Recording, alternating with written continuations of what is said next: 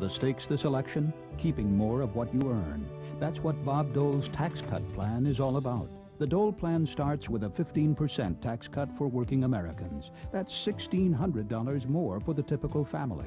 A $500 per child tax credit. Education and job training incentives. Replacing the IRS with a fairer and simpler tax system. And a balanced budget amendment to stop wasteful spending. The Dole plan, helping you keep more of what you earn.